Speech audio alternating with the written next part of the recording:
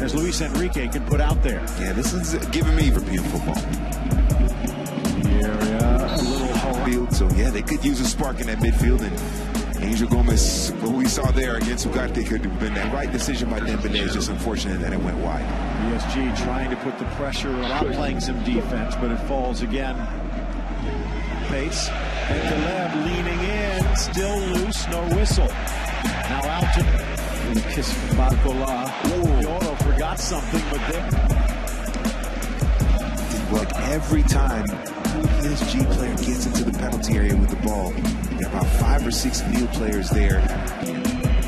whip through in front of the six and thighed up and over.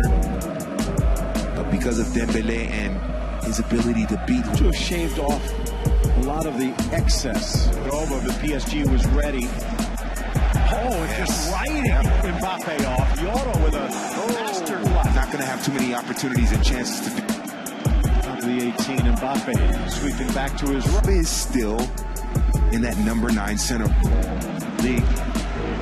Slicing it through. Acrobatic athleticism from Mbappe. Hakimi. Back hmm. quickly, though. And better anticipated by Hakimi. Trying to ride the challenge, Yoro. This is chill.